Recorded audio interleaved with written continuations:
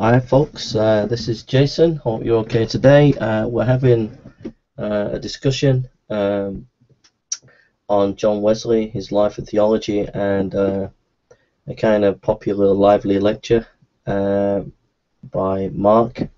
And um, we might have Claire with us um, to share thoughts as well. So um, I hope you enjoy it and uh, feel free to leave comments under the video if you're interested in these uh, topics. Okay. So without further ado, I'll hand over to Mark. Okay. So John Wesley, uh, an enormous figure in history, he voted in a, in a poll back in the uh, to early 2000s as one of the best men in Britain. And uh, so we'll look at John Wesley tonight, and hopefully uh, people will get a, a vision about who this man was and a sort of bit of, a bit of an enthusiasm to actually look into his some some of his sermons and some of his writings and um, some of his theology. So John Wesley, he, uh, he was an Anglican priest, and obviously him and his brother Charles Wesley were known as the, the founders of Methodism, and they were both two of the main pioneers of the evangelical revival in the 18th century with, with George Whitefield. And Wesley was born on the 17th of June, 1703, in Epworth. And he was actually the 15th child of Susanna and Samuel Wesley.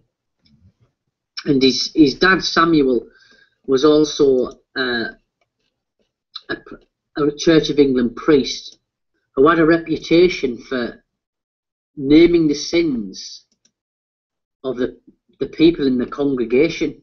So he was a, he was a bit of a maverick himself.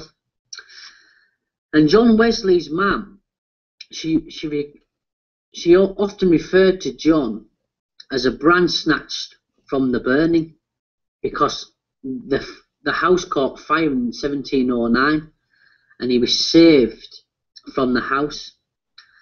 And there was a Victorian biographer stated that when John Wesley entered Charterhouse, he, he went in a saint and left it a sinner. And he was that was just a, a reference to him being a bit of a maverick himself, a bit of a, a radical. In 1725, he started to show signs of seriousness in his attitude towards the Christian faith as he was preparing himself for holy orders. He was the fourth in a generation of Anglican priests, and um, he was influenced by three authors.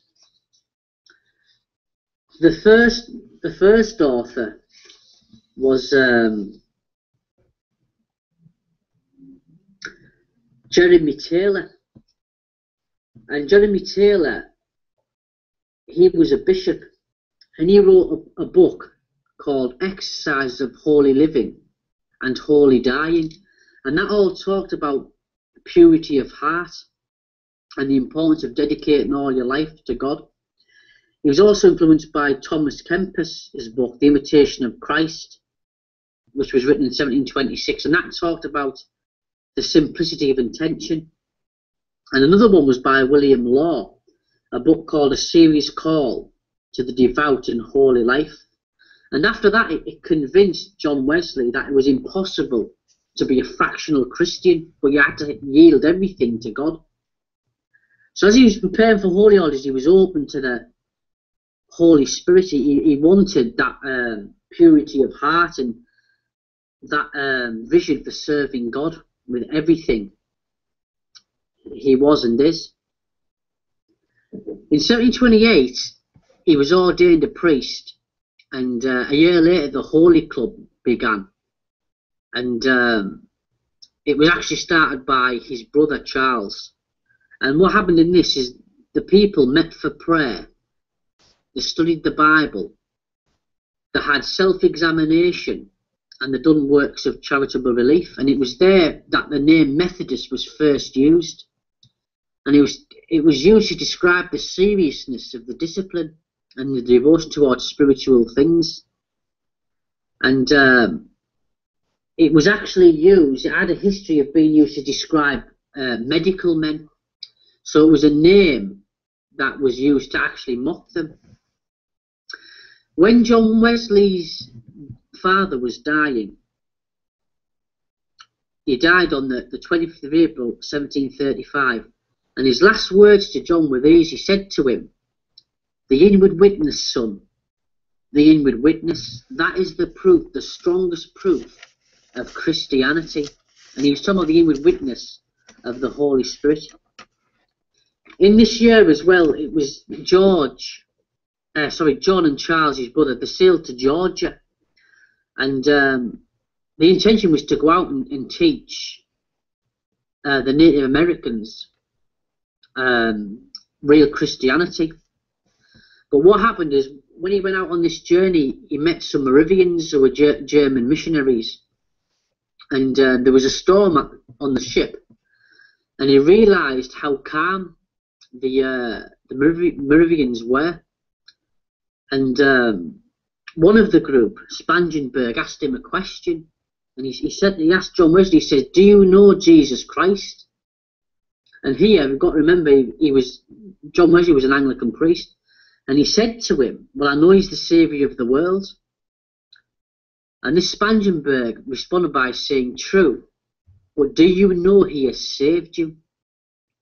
And when John Wesley left Georgia, that question was ringing through his mind, and he records in his journal that he felt like a self-crippled man. And he said in his journal that I went to America to convert the Indians, but who will convert me? And he was searching for this experience that he'd read about in William Law and Thomas à Kempis and, and uh, Jeremy Butler, because he'd witnessed that in the Moravians. And he expressed this desire in, in February the 1st, 1738. He said this He said, The faith I want is a sure trust and confidence in God, that through the merits of Christ my sins are forgiven, and I reconciled to the favour of God. I want that faith which St. Paul recommends to the world, especially in the Epistle to the Romans. The faith which enables everyone that has it to cry out, I live not, but Christ lives in me. And the life which I now live, I live by faith in the Son of God, who loved me and gave himself for me. And that hope in his heart, it, be, it became a reality a few months later on the May the 24th. And biographers claim that this was the turning point in Wesley's life. And he puts it like this this is a famous quote that he wrote in his journal. He says, In the evening, I went very unwillingly to a society in Aldersgate Street, where one was reading Luther's preface to the epistles to the Romans. About a quarter before nine, while he was describing the change which God works in the heart through faith in Christ, I felt my heart strangely warmed. I felt I did trust in Christ, Christ alone for salvation, and an insurance was given to me that I that, I, that he had taken away my sins, even mine, and saved me from the law of sin and death. Now, scholars debate, Wesley scholars debate, what actually happened to Wesley here. If was it a conversion or not? And uh, Theodore Jennings, for example, he suggests that the Aldersgate experience was not a conversion experience, since it did not make an immediate change in John Wesley's life. And um, he, he says, furthermore, it was both before and after Aldersgate that John pursued holiness and still struggled with doubt. So he, he says that um, a conversion interpretation of Aldersgate distorts Wesley's mature theology of Christian discipleship. Uh, other other uh, disagree. Peter Peter Gentry suggested that he experienced entire sanctification or the fullness of the Spirit. Uh, Dr. Herbert McGonigle, he actually said something sensible. He says, to find out what John Wesley experienced, you need to look at what he said himself. And he suggests that what Wesley said was he experienced and a, a spiritual assurance, an assurance of faith. So to conclude the discussion whether John experienced conversion then, or if he experienced being filled with the Spirit, entire sanctification or, or, or assurance, you know, it'll always be debated. But one biographer says this. He says, um, whatever perspective one takes on John's experience at Aldersgate, one thing is certain. It is surely beyond argument that the pre Aldersgate Wesley would never have turned Britain upside down. And I think that's, uh, I agree with that statement. He was, he was changed. And um, John Wesley says that God had raised the people called Methodists up to preach scriptural holiness over the land and to renew the nation and particularly the, the Church of England. So he saw it as a move of the Holy Spirit within the Church of England. It did not become a denomination 70 years till after he died. And um, from 1739 until 1791, he travelled 225,000 miles, preached more than 40,000 times, left 72,000 Methodists in Great Britain and Ireland, and with 57,000 members in America alone. And Howard Snyder, Methodist theologian, says this. He says he says Wesley's contribution to the history of Western culture and the church are legendary.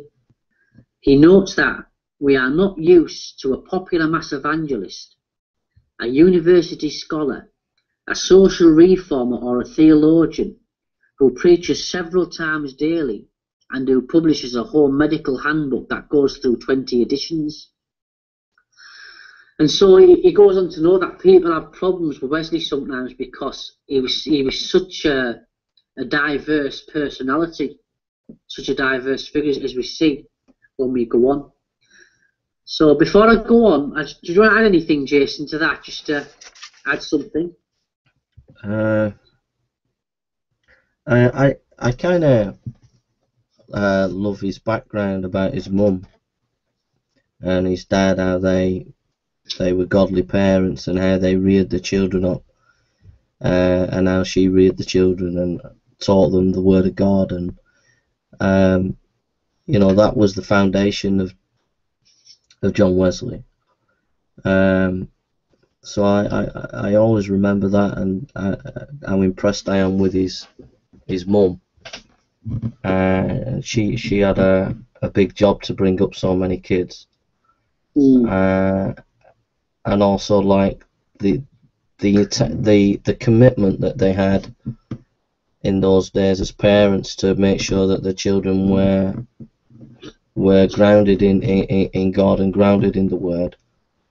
Um, the other thing about you know his heritage, he come from a heritage of ministers, like his father was a, a, minister, and mm. you know they were committed to the gospel uh, as a family, um, and you know, those things impress me. Um, the uh, I, I find it. I don't know. I find it funny how at Oxford he, he was really zealous and really on fire, like trying to follow the Lord, and then yet it's this Aldersgate experience. And yeah. so, is it like a false conversion? Was it a false conversion or was he already converted and but somehow he had another like kind of religious experience? But yeah but, yeah. but, but either way you know how you can uh, be religious and even zealous but yet not have that real spiritual experience. Um, that's what I heard today by Paul Wilkinson uh, his dad told him uh, this is a theologian who used to lecture at our, our, our seminary. But his dad told him, he said, or his granddad said, that it can go into your, you can know it in your head, but it's got to go into your heart. Mm. Uh, so those are just things that, that come to my mind. Yeah, that's good. That. Yeah, his, his devotion, like even before that um, Aldersgate experience. I mean, he, he was even looking at he had some theology of holiness then, but even before then, Yeah. you know. So, but I was going to look at some of the um, his doctrine of holiness because that's the reason he, he said that God had raised him up Yeah. to preach scriptural holiness across the land. And he sometimes he used different terms to describe scriptural holiness. Sometimes he used perfect love or Yeah. pure love. Sometimes he he said he talked about entire sanctification. And um, the most popular one he used was Christian perfection. So I'll read some definitions out. Scriptural holiness, he said, the love of God is shed abroad in his heart by the Holy Ghost given unto him. God is the joy of his heart and the desire of his soul. He prays without ceasing, in retirement or company, in leisure, business or conversation. His heart is ever with the Lord. With the Lord. He loves his neighbour as himself. He loves every man as his own soul. His one intention at all times and in all things is not to please himself, but him his soul loveth. Mm. And perfect love, in a letter to Mrs. Elizabeth Bennis, he says, The highest degree of holiness is no other than pure love, a heart devoted to God, one design and one desire. He says, This is interesting. He says, Love is the highest gift of God, humble, gentle, patient love. All visions, revelations, manifestations, whatever, are little things compared to love. There is nothing higher in religion. There is, in effect, nothing else. If you are looking for anything but more love, you are looking wide out of the mark.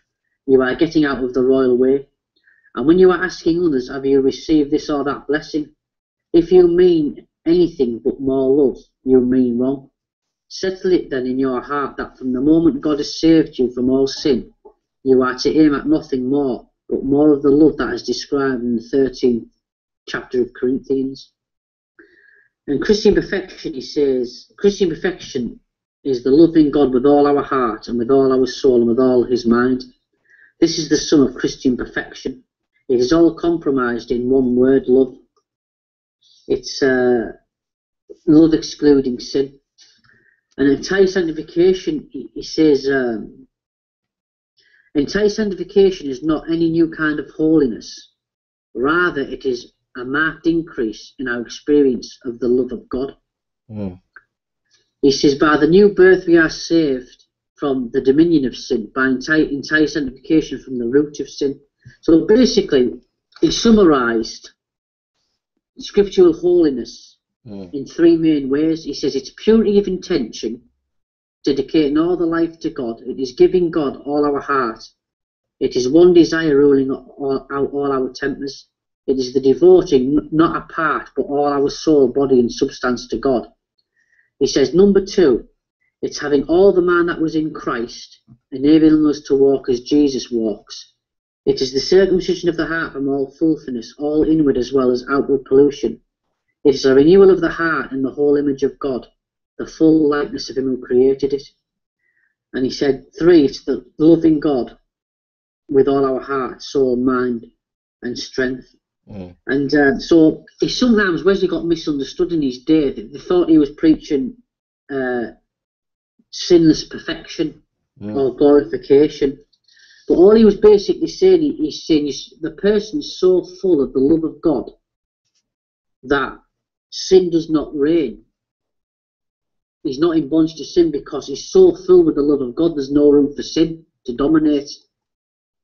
And um, he also said it's, you know, it's a growth in grace. Many people thought he was preaching uh, salvation by works, but it was sal- it was uh, works of faith Mm. works of faith, and it was all he, he made it clear that was all by the grace of God from beginning to end. Mm. Yeah. And uh, one of the one of the questions he got asked was, "Is this uh, entire sanctification? Is it instantaneous, or is it gradual?" And um, he, ba- he basically he concluded. He says some. He says it's both. He says sometimes. He says he's heard testimonies that was instantaneous, and he says others it's a growth over a period of time. But he put it like this: all experience as well as Scripture shows that this salvation to be both instantaneous and gradual. It begins the moment we are justified in the holy, humble, gentle, patient love of God and man. It gradually increases from that moment till in another instant the heart is cleansed from all sin and filled with pure love towards God and man. Man. But even then the love increases more and more till we grow up in all things in Him that is our head, till we attain the measure of the stature of the fullness of Christ. So he talks about um, Martin Luther as well in a sermon on God's vineyard. Wesley says this, like trying to explain the doctrine of sanctification. He says, It has been frequently observed that very few were clear in their judgment both with regard to justification and sanctification. I'll read that again. It has been frequently observed that very few were clear in their judgment both with regard, regard to justification and sanctification. Who has wrote more aptly than Martin Luther on justification by faith alone? And who was more ignorant of the doctrine of sanctification, or more confused in his conception of it? But it has pleased God to give the Methodists a full and clear knowledge of each, and the wide difference between them. They know indeed that at the same time a man is justified, sanctification properly begins. For when he is justified, he is born again, born from above, born of the Spirit which although it is not, as some suppose, the whole process of sanctification, is doubtless the gate to it. For this likewise God has given the Methodists a full view. They maintain with equal zeal and diligence the doctrine of free, full, present justification on the one hand, and of entire sanctification both of heart and life on the other. And the difference is saying, he's saying Martin Luther, he talked about the Christian has what they called an alien holiness. And what he meant by that is when Christ, when we're justified by faith, when, when God looks at us, God sees us so clothed in Christ that he sees us as holy, mm. the holiness of Christ. But what he meant by alien holiness is, is he meant it's an alien holiness because it's not actually real in experience. Mm. So the, the Christian is still always uh, sort of uh, a sinner dead in sin and in bondage of, of, of sin. So although he, he's looked at as holy, mm. in, in reality, in his Christian experience of living, he's, he's actually, it's not a moral transformation. Wesley went further and said, actually, it is a moral transformation mm. where you can have power o- over that sin. And um, so again, it's like justification. It's what God does through Christ. Uh, he basically he, he defined. He said justification is what God does for us through Christ, Yeah. and sanctification is what God does in us through the Spirit. Uh, so he says this: though it be allowed that justification and the new birth are in point of time inseparable from each other yet they are easily distinguished, as being not the same but things of a wholly different nature. Justification implies only a relative, the new birth, a real change. God, in justifying us, does something in us. The one restores us to the favour, the other to the image of God. The one is take, the taken away of guilt, justification. The other, taking away the power of sin. So the born again believer is enabled by grace to overcome both inward and outward sin, Mm. in the sense that he does not go on uh, will, willfully sinning, sinning and stuff. So, but that's what's misunderstood about Wesley. You know, he, he did hold to the doctrine of justification by faith, Mm. but um, there was he he, uh, he expanded on the doctrine of sanctification as well, Mm. which he um, he found in the early church fathers. So, do you know anything, Jay? Um, uh, yeah, I think you're right. I think pe- think people have misunderstood. I mean, a lot of Calvinists misunderstand, understand, uh, misunderstand John Wesley, uh, don't they? I mean, correct me if I'm wrong, but a lot of them do think that he taught sinless perfection.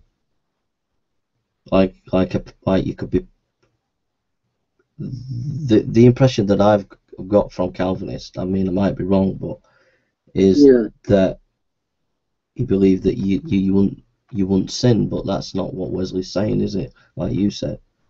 Yeah. Um, but I I struggle with what he's teaching, which I agree. I agree it's biblical. It's one I, I believe it's biblical. I struggle with what he teaches and in my own experience. Yeah, I do as well. You know, in my own experience, it, it's not the way he's describing it. I mean, that's my own fault, but I just feel like I take two steps forward and then three steps back. It's like there's a, a battle going on all the time, and um, and uh, you know, and I I, I, I kind of like struggle at times. Uh, Yeah. Whereas where he's describing, it's like you get this victory, and the root of sin is dealt with, and you get this vic- continuous victory type of thing. So uh, yeah. the other thing as well is, you know, what role in his theology played. I mean, you might touch on this later, or or maybe you know the answer, but what role? Well, even though uh, the root of sin is dealt with, um, what role do the means of grace play in terms of reinforcing behaviour? So I think I remember Dr. McGonigle lecturing on that, where I think he does he, he believed in like five means of grace, didn't he? Like preaching, the sacraments, Oh, yeah. things like that. Yeah, that's interesting, that, Jay, yeah, because he, Wesley talked about as well, he was, he was talking about, in, he, he said you can't reach this uh, process of entire sanctification or Christian perfection without the means of grace in the big one, because he was an Anglican was the, with the communion, Yeah, yeah, which was he was big on, I mean, he was big, big on, you know, taking the communion and stuff, yeah. Uh, But he talked in other places about, you know, to push on for it. yeah, And uh, one of the things he taught about, a, a, a big part of his theology was the first book of John, yeah, where he used to describe spiritual stages. And, and he says, John, in the first book of John, he, he talks about writing to, to young men, mature men, and old men. yeah, You know, I, I write to you, young men, I write to you, fathers, I write to you. And he used that as like um, an evidence to support his doctrine that the stages of growth mm, stage of spirituality. But the the thing with it is, he, he encouraged people to press on into it. mm. You know, and he, Uh, he- his big thing was it's scriptural and it's it's it's it's um it's experienced by people as well. So, yeah. Can, but sorry, sorry, go on, Jay. uh, is it okay to just say one or two things? Yeah, say what you want, Jay. Yeah. Uh, I think one, of the- a couple of things is one is how Wesley was rooted in scripture and tradition.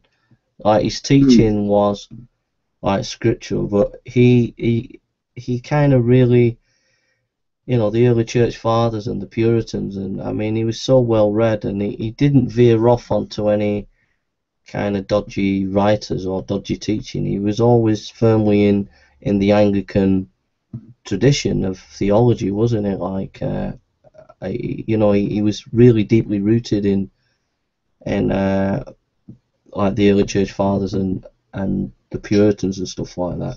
And the, the second, the the question that I have is, it, from what you said and from from his teaching about entire sanctification, how how is that? How does that play out in modern evangelicalism, like with the charismatic movement, with with the evangelical scene that we see now? Um, what what can we learn from Wesley about his Yeah. teaching in terms Yeah. of the light today? Um, Yeah, I've got some on that, Jay, a bit further on. Okay, I tell you what, I'll, I'll, I'll read through some more of the, the essay here.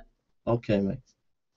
So this one's called was was Wesley an, an enthusiast? Okay, So in Wesley's day, there were terms to describe what it meant to be an enthusiast. One definition of the word in the 17th and 18th centuries meant that while a person was a fanatic committed to a belief.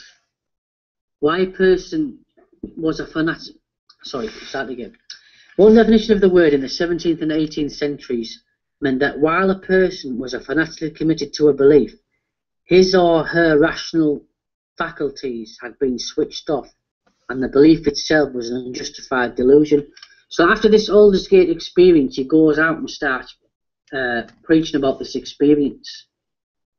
And uh, he got accused of being an enthusiast. And uh, from a religious point of view, it was a madness that ascribed something to God that should not be expected of him, and resulted in the rejection of objective truth or natural reasoning powers. Knox notes that the implications of enthusiasm go far deeper than a rejection of objective truth or reason. For him, at the root of it lies a different theology of grace. Um, so enthusiasm was seen as a, a, rejection of reason and objectivity, and um, it was taken subjective experience and making that the defining truth for Christian living. So it was a re rejection of reason. So I've put here, shortly after the Aldersgate episode, Wesley began to testify openly to all about his experience of assurance. On the Sunday following, he did the same in the, in the home of John Hutton and was roughly attacked as in a large company as an enthusiast, a seducer, and a setter forth of new doctrines. Other indications of enthusiasm were the love feasts that both the Wesleys and George Whitefields would go for Christian fellowship. Wesley recorded, about three in the morning, as we were continuing instant in prayer, the power of God came mightily upon us, insomuch that many cried out for exceeding joy, and many fell to the ground. As soon as we recovered, we broke out with one voice, We praise you then, O God, we acknowledge thee to be Lord. It was meetings like this why Wesley was accused of enthusiasm. However, Wesley and the Methodist movement was labelled as enthusiasm before Wesley's experience at Aldersgate and subsequent love feasts. The first printed attack on Wesley's Methodist movement appeared in the first of the December of 1732 in Fogg's Weekly Journal, accusing the Methodists as practicing everything, everything contrary, contrary to the judgment of other persons. Another attack by the Reverend Theophilus describes the preaching of the Methodists as tempestuous and dreadful, while, whilst Horace Walpole, in a letter to John Tew, described Wesley's preaching as being eloquent, but towards the end he exalted his voice and acted with very ugly enthusiasm. It was the anonymous letter from Bishop Lavington in 1749 entitled The Enthusiasm of Methodists that really infuriated Wesley. The letter charged the Methodists of having the same conduct and pretences as the Roman Catholic priests. Lavington tried to prove this by showing how Wesley and the Methodists abused their clergy and put on sanctified appearances and taught on the need of sudden conversion, the assurance of salvation and perfection, whilst the fundamental accusation was the claim of receiving divine inspiration. Divine inspiration. For Lavington, Wesley and this Methodist movement were a set of pretended reformers, a dangerous and presumptuous sect, animated with an enthusiastical and fanatical spirit hmm. in which moderation, reason, and scripture are things ignored. Wesley replied to Lavington's attack of enthusiasm in February 1749 and suggested that he had misunderstood what he had written. Wesley tried to show Lavington how God had generally worked among the Methodists and transformed Britain and Ireland from vice and darkness towards love to God and his fellow men. In a second letter dated May 8, 1752, Wesley summarizes his evaluation of Lavington's attacks of enthusiasm by saying, I have now considered all your arguments you have brought to prove that the Methodists are carrying out the work of popery, and I am persuaded every candid man who rightly weighs what has been said with any degree of attention will clearly see not only that no one of not one of those arguments is of any real force at all, but that you do not believe yourself, you do not believe the conclusion which you make as if you would prove. Only you keep close to your laudable resolution of throwing as much dirt as possible. Wesley concludes his reply by suggesting that the reasons for Lavington's accusations were nothing more to expose the Methodists to the scorn of mankind and to stir up the civil powers against them. In Wesley's mind, Lavington had taken his writings and distorted them with the intent of accusing him and the Methodist movement as being fanatical enthusiasts who were trying to set up their own sect by claiming authority from subjective experiences of God whilst rejecting the authority of reason. Did Wesley reject the role of reason? This is a, Wesley's response that, to the accusation that he'd rejected reason. In a letter to his mother in 1725, Wesley called faith an assent upon rational grounds in which faith must necessarily at length be resolved into reason. Wesley's view on reason seems to remain the same after his Aldersgate experience. In a letter dated 17, January, uh, in a letter dated January the 12th, he states, I am still willing to be controlled by reason. Therefore, according to your account, I am no enthusiast. In a letter to Dr. Rutherford in the March of 1768, he says, It's the fundamental principle with us that to renounce reason is to renounce religion. In a late sermon, 1781, entitled The Case of Reason Impartially Considered, Wesley lays out his developed theological views upon the benefits and the limits of reason within the Christian life. Wesley defines reason much the same as understanding and as a faculty which exerts itself by simple apprehension, which is the most simple act of understanding, judgment, which is the determining of things which either agree or disagree from each other, followed by discourse, being the motion of progress from one judgment to another.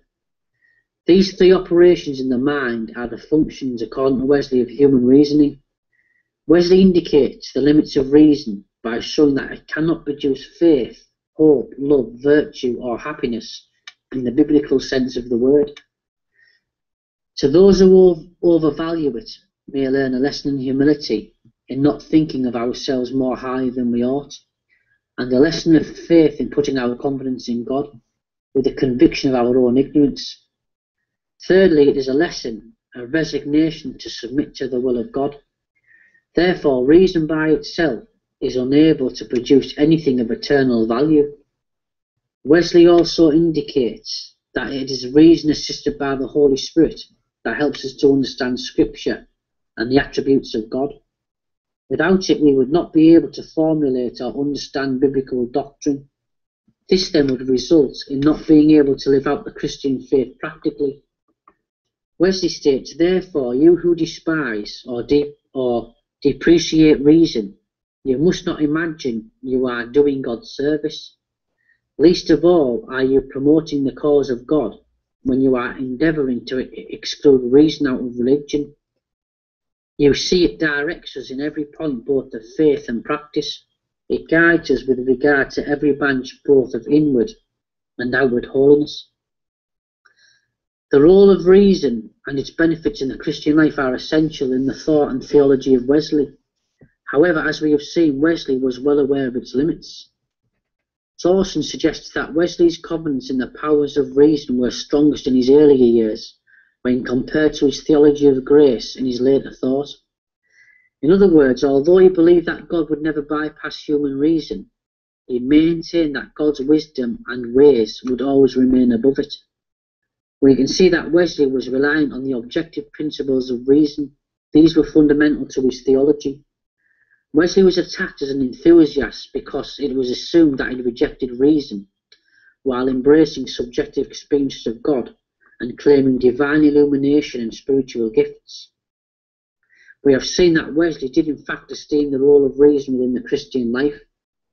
Therefore, Wesley was not an enthusiast as he did not reject the role of reason completely, but showed how it had only certain limits in Christian experience. So it was like you were saying, Jay. Are you still there? Yeah, yeah.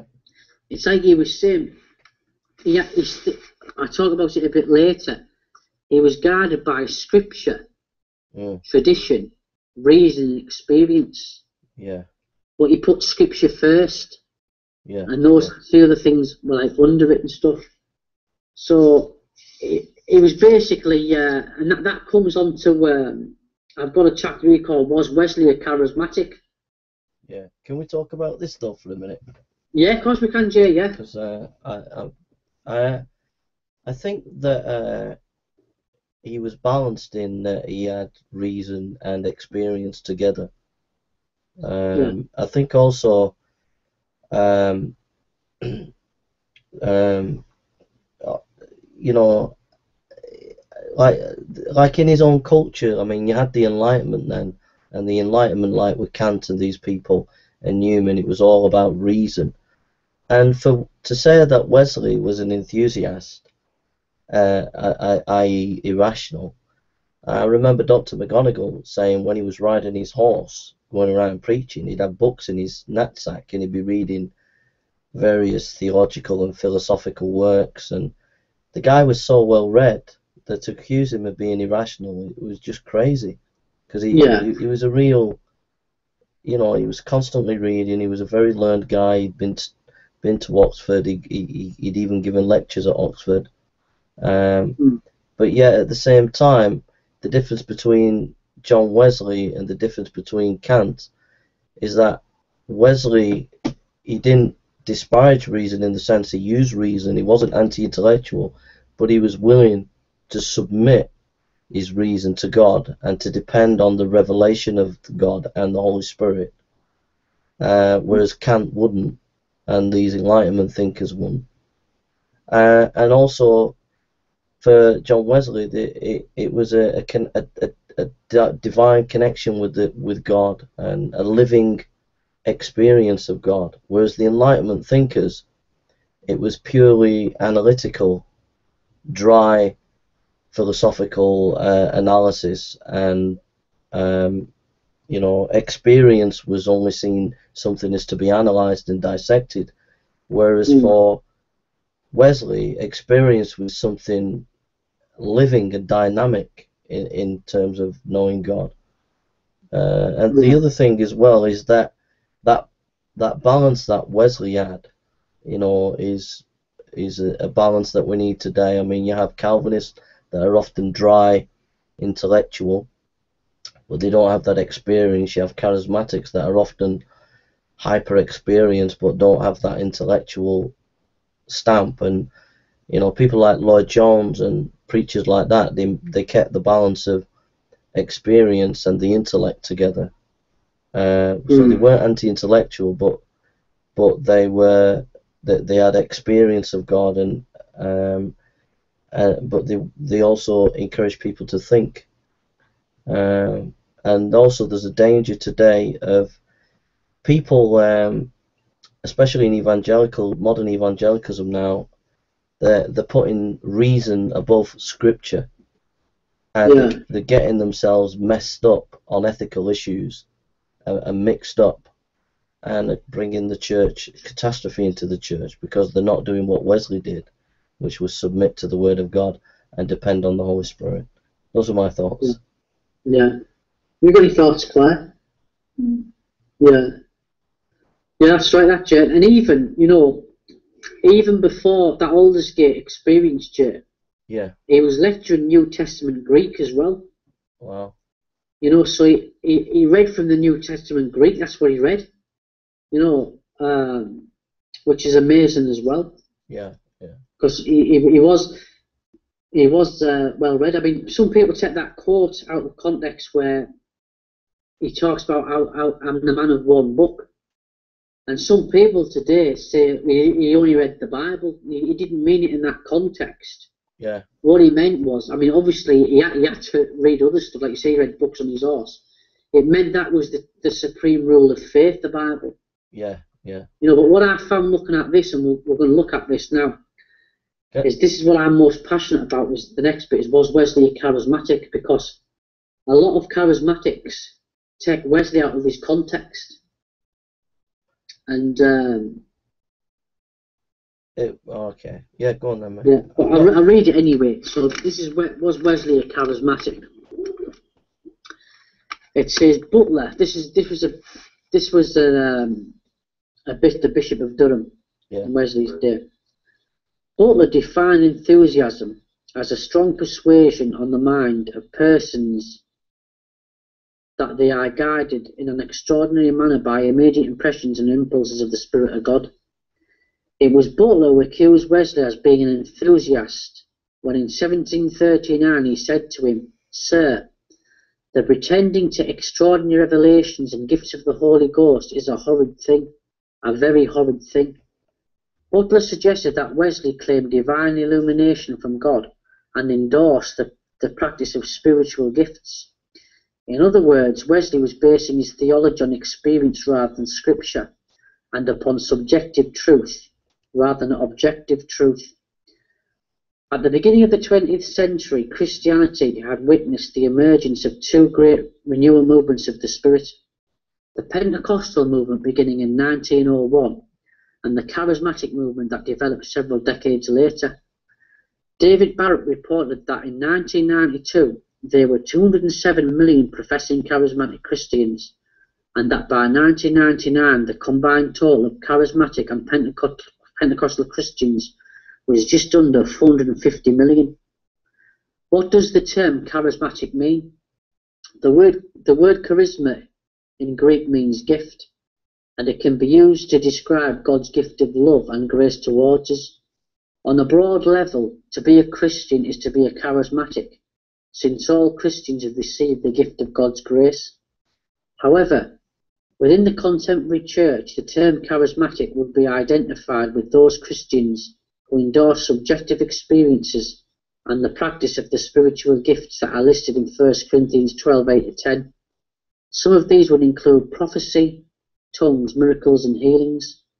Peter Hocken notes that all observations and students of the topic would agree that where none of these gifts are found, the charismatic movement is not present. Our question of if, if Wesley was a charismatic refers to the definition used within the church today. This would include the endorsement of subjective experiences of the Holy Spirit and the practice of spiritual gifts as a normal part of Christian experience. Middlemiss suggests that the contemporary charismatic movement is the closest ancestral, ancestral relative to 17th and 18th century enthusiasm. By this he means that the contemporary charismatic movement is 17th and 18th century enthusiasm repeating itself, where reason and objective truth are rejected in favour for subjective experiences of mystical nature. For Middlemiss, the charismatic movement and the claims to spiritual gifts or signs and wonders are counterfeit. In his controversial book, Charismatic Chaos, John MacArthur takes the same stance as Middlemiss. He also defines charismatic Christians as those who exalt subjectivity as an authority over objective principles of Scripture when it comes to defining Christian experience and doctrine. He says, those who place all their emphasis on a subjective, validating process eventually reduce the content of revelation and fit to their taste. In addition, he adds, there is little doubt that most charismatics, if they are honest with themselves, would have to acknowledge that personal experience and not scripture is the foundation of their belief system. As much as some charismatics might want to give the Bible a higher place of authority in their lives, the scriptures are often ranked second to experience in defining what they believe. Many charismatics would deny that they place subjective experiences as an authority over objective truth, such as scripture, reason, and tradition. Nevertheless, for the purpose of this paper, we will agree with Middlemiss and MacArthur that charismatics generally exalt the authority of subjective truth over objective truth when it comes to defining theological theory and theological practice. We will now turn to the experience of the Holy Spirit that people had un under the ministry of Wesley. Historians record the beginnings of the charismatic movement back to the beginnings of Pentecostalism that began at the beginning of the 20th century. However, most charismatics could trace their experiences of spirit back into the New Testament. For charismatics, the book of Acts is the, is the New Testament. It is their story and the theological foundation for their practice. Generally speaking, charismatic, charismatic experiences of the Spirit are nothing new. They can be traced throughout the whole history of the Christian Church, beginning at Pentecost in about 30 AD and on to the present day. One of the main aspects of the charismatic experience in the contemporary church is being slain in the Spirit or falling under the Spirit. American preachers Rodney Howard-Browne and Benny Hinn are famous within the contemporary charismatic church for blowing on people in which whole congregations fall to the ground under the power of the Spirit. However, this phenomenon of falling under the Spirit was displayed more extraordinarily under the preaching of Wesley. Unlike Browne and Hinn, Wesley did not have to blow on anyone. It happened automatically. In the April of 1739, Wesley records that as he was preaching, a young man suddenly seized with violent trembling all over, sunk down to the ground. Another incident on the 12th of June 1742 tells that several dropped down as dead as he preached on the righteousness of faith. At another time, 26 people were struck under the conviction of sin whilst in the August of 1759 Wesley recorded this extraordinary account. I preached on those words in the second lesson, know that we are of God. One sunk down, and another, and another. Some cried aloud in agony of prayer. I would willingly have spent time with them, but my voice failed, so that I was obliged to conclude the service, leaving many in the church crying and praying, but unable either to walk or stand. One young man and one young woman were brought to Mr. Berridge's house, and continued there in violent agonies both of body and soul. The body convulsions of the young man were amazing. The heavings of his breast were beyond description. He called upon God to relieve his soul and body, and both were perfectly healed. He rejoiced in God with joy unspeakable. As we can see, um, As we can see from these accounts, falling in the Spirit occurred in the ministry of Wesley. However, did Wesley's ministry include other contemporary charismatic experiences such as healing signs and wonders, laughing and roaring, and demon possession? Healing also plays a big part in charismatic spirituality. There are, however, dangers of triumphalism, especially among the positive confession charismatics who promise guaranteed health and healing by just naming and claiming the healing you need. Knowing the formula of faith creates the reality. Uh, many times Wesley claims how people were healed during his preaching, although it is usually unclear if Wesley means physical healing or the spiritual healing that comes at new birth. However, Wesley did frequently investigate and record accounts of divine healing in his journals. Such was the case of Mary Special, who had pain and lumps in her breasts for four years and was healed by a Mr. Bell. When the pain returned a day later, she clapped her hands on her breasts and cried, O Lord, if thou wilt, thou make me whole. From that hour she had no pain or lumps, and long after confessed that our breasts were now perfect. Wesley's conclusion was she was ill. Two, she was well. Three, she became so in a moment. Which of these can with any modesty be denied? Wesley's brother Charles also received a divine healing when he heard the voice of Mrs. Turner say, In the name of Jesus Christ arise and believe, and thou shalt be healed of all thy infirmities. This healing led later to the conversion of Charles Wesley, was this healing and conversion of Charles Wesley a demonstration of signs and wonders following the proclamation of Christ? I need a rest, Jim. Throat's in agony. Why? You... Uh, do you want to add anything, Jay? Yeah. You, have you got some water? Yeah, I'll go and get some. Um, I'll just yeah. Um, what? Uh, just thinking. Um, I'm not.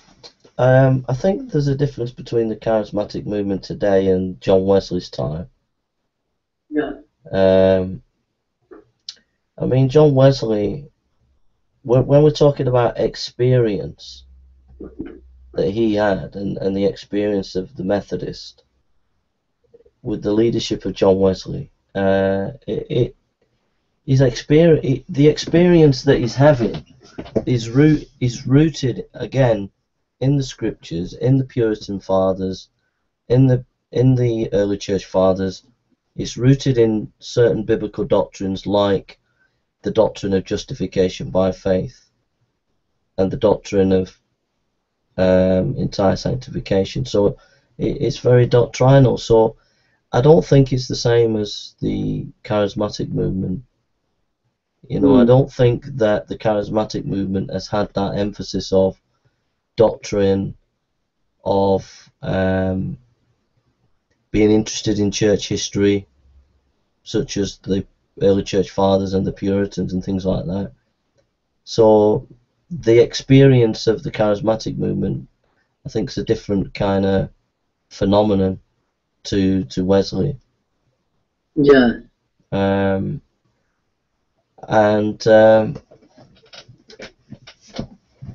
yeah, so I, I think I think that uh, the reason I I mean you might disagree, but I the Lord um, there was a there's a passage of scripture where he says I can't do anything in this city or this this area because of unbelief.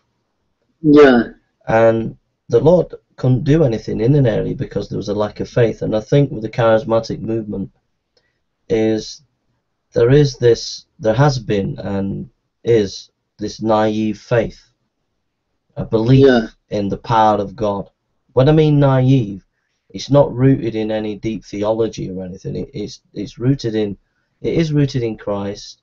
It is rooted in the Bible, but it's not it's not like well thought out or anything like that. And yeah. there is this faith and belief in Christ and His power. And I believe the Lord blesses that. I believe that the Lord, even though it might be mixed up at times, or even though it might get hijacked by false teachers, yeah. I, I believe that God blesses people who have faith, and and I believe that that's why um, the charismatic movement, you know, I mean, um, Pentecostalism, you know, the 600 churches opened um, 2010 in the UK. Uh, Pentecostal church, charismatic churches, and I think like God does bless these people, but I don't think it is the same as the Wesleyan. I think it that it's a theology today that is shallow compared to what Wesley was teaching. Yeah, yeah. That's what I think. Yeah. I'll just conclude with reading this bit here then, Jane, and add a bit. So was Wesley a charismatic? I should have went straight to this part really. Contemporary charismatics, charismatic Nigel Scotland states that Wesley was convinced of the necessity of spiritual gifts. By this, Scotland wants to suggest that Wesley was a charismatic in the contemporary sense of the term. As someone who believed in the necessity of spiritual gifts and who endorsed subjective experience of the Holy Spirit, However, David Allen suggests that it would be a stretching a point to claim Wesley as a charismatic in the strictest sense. For us to evaluate if Wesley was a charismatic or not, in the contemporary sense of the term, we need to let Wesley speak for himself about what he thought of spiritual manifestations and spiritual gifts. In 1739, Wesley concluded that he, would, he could only prescribe people falling over as to the work of God's Spirit in which people were getting grasped by Satan as they were coming to Christ. Wesley warned against condemning what could be genuine works of God's Spirit, but also suggested that it was unwise to judge inward changes by the outward evidence of manifestations. He concluded by suggesting that the manifestations are either a genuine work of God's Spirit, demonic manifestations, or natural causes such as people exaggerating or getting emotionally carried away. In a letter to Dr. Rutherford in 1768, Wesley reported that falling under the Spirit was not at all times or in all places, and that for two to three years they were only constant in London, Bristol, and Newcastle.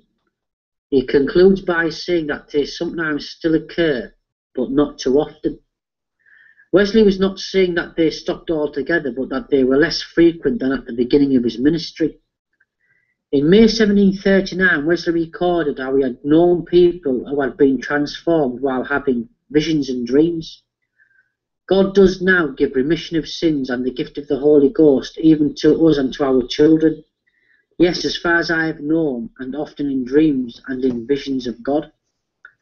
A month later, however, Wesley makes remarks about the false prophecies of the French prophets.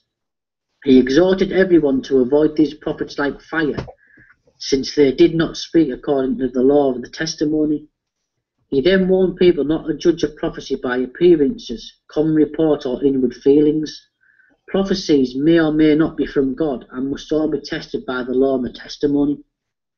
In scriptural Christianity, Wesley says, whether the gifts of the Holy Spirit were designed to remain in the church throughout all ages, and whether or not they will be restored near the restitution of all things, are questions which is not needful for us to decide. Wesley concludes by saying that the important thing was that they were all filled with the Holy Spirit rather than operating spiritual gifts.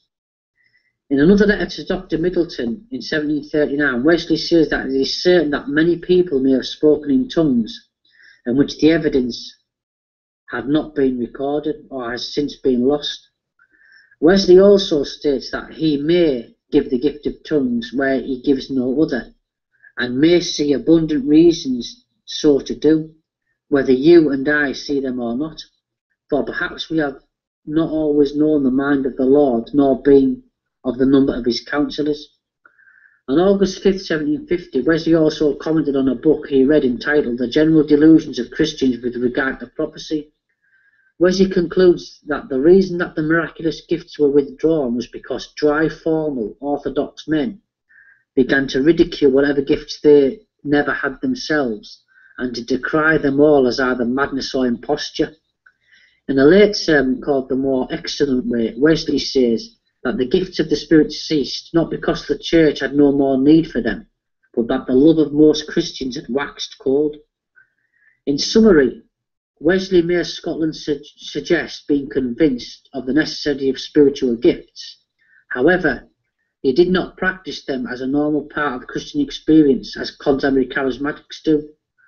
Although sometimes he endorsed certain dreams and visions on rare occasions, his view on spiritual gifts were the views that most churchmen of his day had, which were that spiritual gifts had ceased at the apostolic age. However, they were views However, there were views among movements like the French prophets who claimed that spiritual gifts were still part of the normal Christian life. Most of the accounts that Wesley investigated of movements who claimed they had spiritual gifts were, in his estimation, enthusiasts who rejected the authority of reason in Scripture. In 1759, Wesley wrote a sermon entitled The Nature of Enthusiasm to de define what he thought were the characteristics of enthusiasm. Wesley felt the need to write this due to the attacks he had received as an enthusiast, as enthusiast from Lavington, Butler, and others, who were saying that he and the Methodists rejected reason and received divine illumination from God and gifts of the Spirit. Wesley states that his, his sermon by suggesting that enthusiasm is nothing more than false confidence and follows on to suggest that there are four kinds of enthusiasm the first kind are the most common enthusiasts who imagine they are Christians and are not, who Wesley calls the worst kind of enthusiasts. The second kind are the ones who imagine they have gifts from God. The third kind are those who think they attain the end without the means by the immediate power of God, followed by the fourth kind, which are those who imagine things to be the providence of God which are not. For Wesley, enthusiasm is a disorder of the mind which hinders the exercise of reason. It is a religious madness arising from some falsely imagined influence or inspiration of God. Every enthusiast then is, a, is properly a madman. It seems clear then that Wesley defines enthusiasm in the same way as critics do, that enthusiasm is a fanatical madness which results in a rejection of objective truth and relies instead on subjective experiences of God defining truth.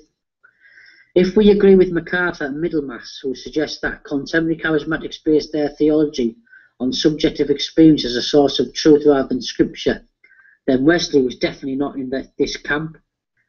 For Wesley, experience was always subordinate to scripture and never above it.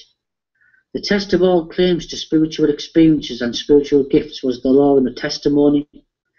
Wesley was not a charismatic in the contemporary sense of the term, as someone that practiced spiritual gifts and endorsed subjective experiences. He was charismatic with the view that Christianity was an experiential faith which should be felt in the heart and not just dry doctrines to be agreed upon. He was open to subjective experiences, but not to the point where they defined Christine doctrine as an authority over Scripture. We agree and conclude with Rack when he suggests that Wesley did not go all the way with enthusiasm.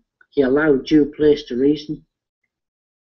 Oh. I even think he would have been an enthusiast if he could, but there was a firmness in his intellectual texture which would not bend to illusions. For Wesley, experience had, had to remain within the objective boundaries of the quadri- uh, quadrilateral. I can't even say it now. Quadrilateral. Quadrilateral. Yeah, that's it. Yeah, that's the one. so, um, what he what he's basically saying is he was he, what I'm saying. What, what I was saying is he wasn't charismatic, Jay. Mm. In the terms of charismatic, what charismatics like today, because many of them do exalt uh, spiritual gifts and spiritual experiences above scripture. And the thing is, he preached holiness. It was always about holiness. Mm. Always preached about holiness, and, and that was the key. And he was he didn't expect signs and wonders to follow all the time. You know, he was he was he just he was the work of God. And um, the point I want to make is what I see historically as I think a lot of the charismatics today are like those French prophets Wesley opposed. Mm. I think they're in that same stream. A lot of them. Um, so, any any thoughts, Jay? Uh, yeah, I think it's really good, well researched. It's really, really good because you've researched it well. Um, uh, I'm just thinking. Um, uh, there's just loads of things to, to say, really. Um, I, I I thought it was wise how he said how he talked about physical phenomena, how uh, people who were shaking and things like that, how he was saying that it's important not to be taken in as an evidence of God. Not not to completely dismiss it, but that ultimately it's where it's the inward work of your life. That yeah. is the true test of whether God's been at work or not. And if you look at like uh, the history of revivals, and if you look at it today, um, like with the Todd Bentleys of this world, where um, we had a few years ago the Toronto Blessing, and we had that guy I can't remember his name, where he falls over laughing and they all fall over laughing. Yeah. Um, people can soon be taken in by physical phenomena, people laughing or chuckling like chickens and saying that this is of God. Uh, you know, yeah. Wesley wouldn't have been taken in by that. He would have said, "Well, what's it? What's happening with your life? How's your life been?" Um, but the thing I like about Wesley and true even true true Christianity is always got that balance of of doctrine and life, and that's what Wesley was all about. Everything was, you know, it it was all his experience was based on the objective word of God and objective truth from that word. Yeah. And um, you know, a lot of experience today within the church, uh, all these new movements, it, it's not it's not got that that uh, depth and that stability. Um, you know, so Wesley's such a such an inspiration, and um, but at the same time, Wesley was not narrow-minded. He was open to the to the Spirit. He was open to what the Spirit might be doing. Uh, mm. he, he didn't reject things out of hand if people had visions or didn't reject the power, the healing power of God or anything like that. He was open to to what the Spirit was doing, and yet on the other flip side, there are a lot of people today that f- any kind of enthusiasm, any sense of uh, zeal for God, or uh, believing that God can heal, or believing that God can do things, and or believing in the Holy Spirit and what the Holy Spirit can do, that they fear that. Mm. And and so there's the two extremes of those who uh, are just jumping into any movement that comes, whether they're clicking, clocking the, the making chicken noises or falling over laughing. Yeah. Where they just run to any new movement, but it's got no stability or base because it's not rooted in the word, it's not objective. And yet the other extreme of people who, um, who just, you know, any any the slightest mention of the Holy Spirit, and and they get all jittery. Mm. Um, I just think Wesley's amazing. Yeah. You know, and he didn't get it right all the time. I mean, he, he probably made mistakes on trying to work out whether some of these phenomenons are are right or not. Um, mm. It's interesting. It's interesting how he denounced these prophets. It, it, I, what I find interesting is how he was accused of, accused of enthusiasm, mm. and how he defended himself against that, and then how he attacked the these French prophets for being yeah. enthusiasts. So what's the yeah. difference? What is the difference between his defense of himself and his attack on the French prophets? Um, yeah. Uh, and um, like I think I think yeah, touched good, on that's it. a good question, actually. I think you touched on it about he, he, he have this objectivity on the on his basis. But what I find interested in is he opposed these French French prophets, and uh, you know, I'm I'm guilty of this. I I kind of try. I kind of I I, I, kind of don't like. Um, being too critical, you know, if people say they believe in Jesus, then that's good enough for me. And I don't like to be too too critical. But if uh, there are people who are teaching things that are wrong under the guise of charismania, charismatic stuff, yeah, then if Wesley was here, he would call them out on it. Yeah. Wouldn't he? So just a thought. Oh yeah, no, that's good. That this is Here's the question I wrote here. I'll just finish this now. This essay a bit. This, so come to a conclusion. The relevance of John Wesley's theology, like for today. In the book A New Kind of Christian, Brian McLaren suggests that a new model of doing church is required if we are to reach the postmodern generation with the gospel. The story is of a pastor who is struggling to express his faith in a postmodern culture. He finds that his theology no longer seems relevant to him or to the church he is leading, as his reformed epistemology is based on a modern system of doing theology. The old model of expressing practical theology is no longer working, and he fears that he may soon have to leave the ministry. He meets a friend called Neo who helps him through. Have you read this book, Jay? Who is it? Brian McLaren, a new kind of Christian. No, no, go on, mate. You have to, you have to get. This is a book about. It's a post, it's post-modernity stuff. The old model expressing practical theology is no longer working, and he fears that he may soon have to leave the ministry. He meets a friend called Neo, who helps him through the many questions he has about truth, faith, theology, and the pressures he faces in needing to express Christian faith in a way that is relevant for postmodern culture.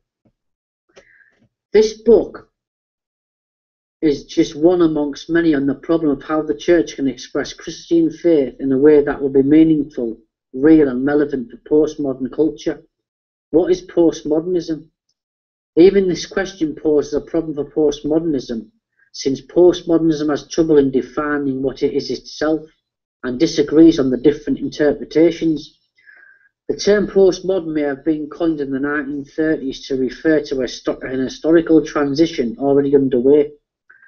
James Sire suggests that the acknowledgement of the death of God is the beginning of postmodern wisdom. It is both more than and less than a worldview, which is afloat in a pluralism of perspectives and a plethora of philosophical possibilities, but with no dominant notion of where to go or how to get there. With postmodernism, no story can have any more credibility than any other, since all stories are valid. Stanley Grenz suggests that at the heart of postmodernism is the radical rejection of the modern intellectual outlook, and the loss of the modern worldview marks the end of the objective world of the Enlightenment project, with its emphasis on empirical knowledge of reason as the source of all truth. The modern worldview had been under attack since the time of Nietzsche. However, the postmodern roots began with, with Kierkegaard. Is that, his, is that how you pronounce his name? Soren Kierkegaard? I think so, mate, yeah. Yeah. Kierkegaard suggested that faith was subjectivity and a leap into the dark. Thus, a good definition of postmodernism would be this is my truth, tell me yours. In summary, postmodernism is a, a reaction to modernism. It is a culture of subjective experience which rejects universal reason, theoretical systems, and objective truth.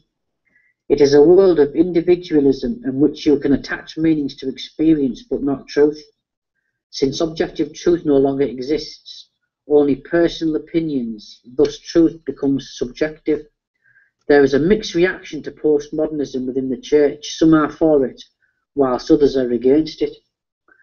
We saw earlier that Wesley was accused in his day of being an enthusiast and is sometimes labelled by some in the contemporary church as charismatic. We saw that these movements are based on subjective experience and that they often react against objective truth as an authority whenever it does not endorse their belief system. However, Wesley was against beliefs that were uh, Wesley was against beliefs that were totally objective and did not have an experiential or subjective side to it. Christianity also needs to be felt in the heart and not just agreed upon in the head. Wesley made this clear to the Methodists when he said orthodoxy or right opinions is at best but a very slender part of religion. For Wesley, Christianity, Christianity ha has an objective set of correct beliefs and a subjective commitment of a person. Wesley's theology was both empirical and experiential. Truth for Wesley was entirely objective and partially subjective, with the latter always in submission to the former within the boundaries of scripture, reason, tradition, and experience. They are reactions for and against postmodernism. McLaren's book is a voice for how many people feel within the evangelical church. He reminds us that Christianity always needs fresh expression within the culture we are li living in. Nevertheless, there seems to be a dangerous element within this book, as it seems to suggest that evangelicals may have to abandon traditional beliefs and practices. McLaren is slowly pulling away from history and orthodox, orthodox practice. In other words, he's becoming postmodern within his theological system, and the postmodern worldview is built on subjective experience. Wesley is a voice within the evangelical church today who can remind postmodern disciples that truth is not subjective but objective, and that looking back into history rather than abandoning it is what can take the church forward. Wesley's epistemology is theocentricity, immanence, heart, conversion, and Bible. This is the safety zone against subjectivity defining truth, since it is objectivity rooted in scripture, tradition, reason, and God Himself. Wesley's epistemology is also a reminder that experience must grow out of doctrine rather than doctrine growing out of experience. Faith and truth, according to Wesley, is not a leap into the darkness of subjectivity, but a leap into the light of objective truth within the safe, safety zone of scripture reason, tradition, and experience. Um, the kind of Christianity Wesley taught and wanted to see throughout the whole world was uh, that Christianity was a call to a happy and holy life with a good conscience towards God and man and power over all sin. Wesley defined holiness as loving God with all our heart, mind, soul, and strength, loving godliness and hating sin. We can say that the role of experience in the theology of Wesley is an empowerment for holy living. This holiness is orthodox, orthopraxy, and orthopathic, where right belief leads to right practice, and right practice leads to the right experience of Christianity, which is a holy life. It is also social and corporate, not mystical or of a total individual nature. Wesley's theology of experience has relevance for postmodern discipleship because it should lead to practical Christian action and empowered Christian living. Um, Maddox notes how some contemporary scholars scoff at Wesley's significance as a theologian. What these scholars fail to see is that Wesley's theology of experience was practical at every level, as well as theoretical. He put theological theory into practice, as well as reflecting theologically on his practice, and altered it where, wherever necessary such as his doctrines of assurance and sanctification. Carter writes that Wesley thought theologically, spoke and communicated theologically, administered the Methodist movement theologically, and he even died theologically, affirming the best of all, God is with us. Wesley's empirical and experiential system is complex and is the reason why he sounded like an enthusiast to a rationalist and like a rationalist to an enthusiast. To conclude, Wesley's theological system ultimately leads to doxology, which is expressed in social holiness, which is where all Christian theology must ultimately lead. And the reason why Wesley's theology of experience is relevant today for, for postmodern discipleship. So again, he's um, Wesley Wesley stuck to history, didn't he? Mm, mm. He was, he was rooted in um, in history, and what I like about Wesley is there was two kinds of people in, in his time. There was there was the, the rationalists, yeah, the high church people, who were probably lib, the liberals of the day, and there's the enthusiasts. That were probably the um, maybe it's like the charismatics, you know, or, the um, the people like MacArthur maybe or Piper. And the thing was, is both people were uncom- both camps were uncomfortable with him because what the author says when he was with the um, when he was with the the um, enthusiasts, they thought he was liberal. They thought he was high church because he had he, reason played a big part in his theology and the rationalism. But when he was with the high church people, the liberals. They just thought he was an enthusiast because of his experiential side mm. of theology. So they couldn't really put him in a box. Mm. You know, and um, I just think he was amazing. He was amazing because um, because he was flexible, but he was balanced at the same time. Mm. And I just think I think his philosophy and ministry is amazing. You know, because he's not one or the other. You know what I mean? Mm. Um, but I, I, I don't know. What do you think, Jay? Uh, I thought it was a great lecture. I thought it was very scholarly. I really enjoyed it. I thought it was really good uh, lecture, well footnoted and uh, excellent. Um, I like the ending talking about postmodernism and stuff like that. I thought you were bang on when you said that uh, postmodernism is a re reaction to modernism. I thought that was bang on. And uh, this issue about history uh, is absolutely key to this whole. The whole.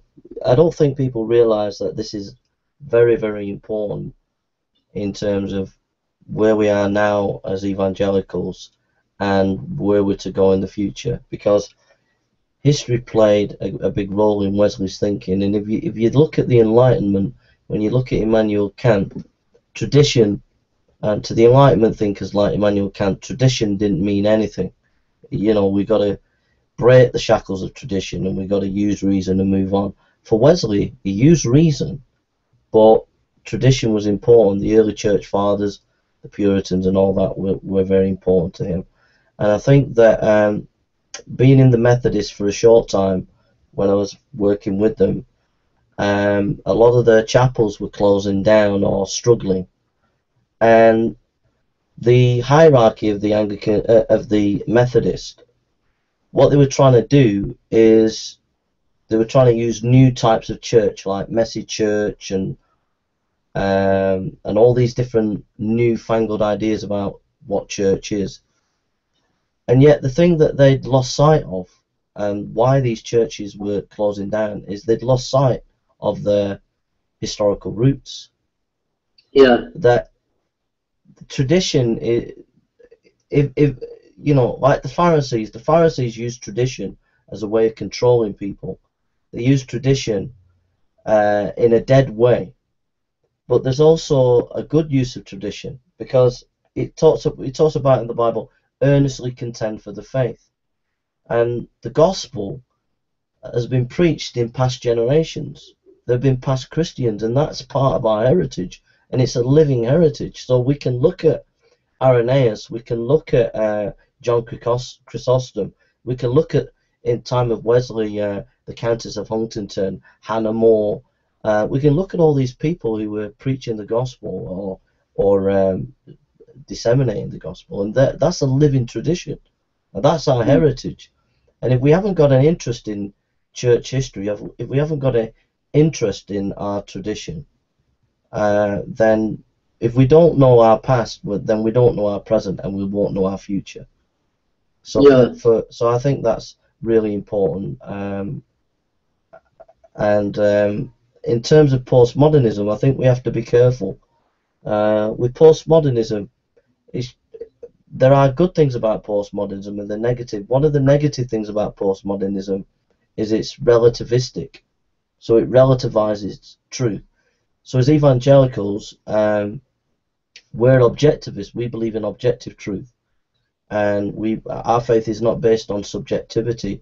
It's founded on objective truth that Jesus died and rose again can be verified objectively in history, and our subjective experience is based on objectivity, whereas postmodernism it uh, it denies objective truth, it's relativistic. But at the same time, postmodernism is a reaction to uh, modernism, and part of that reaction is uh, modernism saw knowledge is purely scientific, whereas postmodernism is saying no, there are other types of ways of knowing like for example art.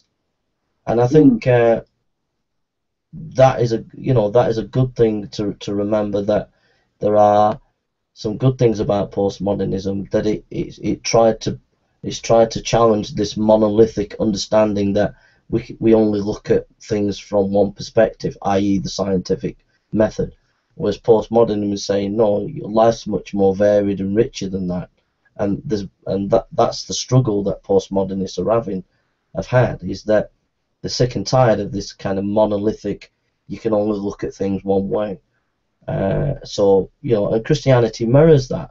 You know Christianity is not just about science. Um, Christianity is also about historical truth. It's also about exp- experience. It, it it says things about family it says things about art it says things about philosophy and politics um, all the many concerns that postmodernism has, has been writing about. Um, so, you know, Christianity, with Christianity, you get the modernist perspective, you get the objective truth, uh, mm. but you also get the postmodernist desire for variety and experience in Christianity. You get the both married together in Christianity. Mm. Those, Yeah. those are my thoughts. But I thought it was really good how you ended it on postmodernism. Yeah. Because I think, you know, I think the postmodernists to look at Wesley. I think it would. I think they'd appreciate him. You know. Yeah, yeah. Um. I- yeah. I think there's a there's a danger. Um, there's a couple of dangers and a couple of positive. I think there's a danger in you know there's been uh, a lot of lectures by various preachers and lecturers over the years on church history. Uh, there's a danger of romanticizing the past uh, or harking back to the past where as if like that's we're, we're waiting for that Wesley type experience or Whitefield type of experience, and that God isn't doing anything today type of thing. And, and I know you're not saying that, but there is there are people that look at the past and they're kind of in their own little world. They're in they're in a they're in a, a kind of uh, historical castle and they're not actually engaged in the real world. So there's a danger in looking at church history in that way. But Mm. at the same time, I think young people have to realise that church history is exciting, and that um, people like John Wesley uh, are ex- can be exciting to our faith, uh, and are Mm. important to our faith because, you know, again, if you read Hebrews, I think it's chapter eleven, it talks about the heroes of faith. You know, Yeah. and you know, these people these people uh, lived, they died for the faith. And uh, if you allow the Holy Spirit to work in you as you read these people, you can be inspired today in your faith and equipped uh, to to do ministry. You know, and like you you mentioned that Wesley was quite rich and complex. That young people especially can get so much uh, from studying John Wesley and studying his sermons and studying his his diaries. Um, so it's not a wasted time. It, it, it's uh, it's a valuable time. Yeah. It's great, Jay. Um, I've nothing else to add. Uh, Yeah, that's it. I'm finished now, Jay. all right. I really enjoyed that, mate. Um, so if you want to make comments, uh, feel free to make comments under the video. And uh, you know, what do you think of John Wesley? Do you think he's relevant today? And do you agree with some of the things that Mark said or I've said? And uh, just let us know what you think. And uh, we just hope that this will inspire you in your faith to walk closer with the Lord and to depend on Him and to go forward in your ministry and and in your walk with the Lord. So I'm going to ask uh, Mark if he's going to close in prayer or, or whoever. But uh, do you want to close in prayer, Mark, or Claire? Or... Yeah. Lord, thank you for this time together, Lord. Thank you for the the life of John Wesley, Lord. And we just pray, Lord, that um, we be as devoted as him, Lord, and as passionate as him for the gospel, Lord. We just give you all the praise. Amen. Amen. Amen. Okay, folks. Thank you for listening, and God bless you, and see you around. Take care.